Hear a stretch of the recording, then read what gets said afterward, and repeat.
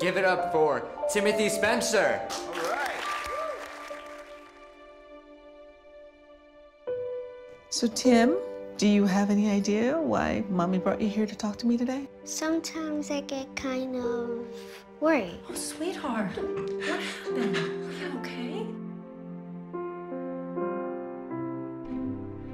How did I not know that kids could have anxiety?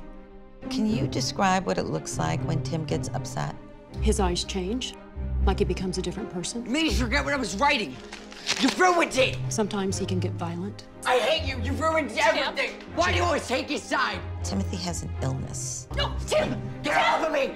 I will kill all of you! Tim! I swear! I'm not sending my son away. We'll start him on a very small dose at first. What he needs are parents who know how to handle it. Why didn't you try harder? He's not getting better. You just want to get rid of me. That's all. Stop. You hate me. I feel so guilty. Stop. I'm sorry for everything. Please, mommy. You sound angry.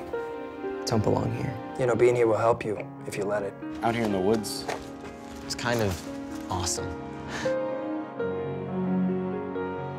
No one knows him like I do, and I am the one who's supposed to help him. If this was your son, what would you do?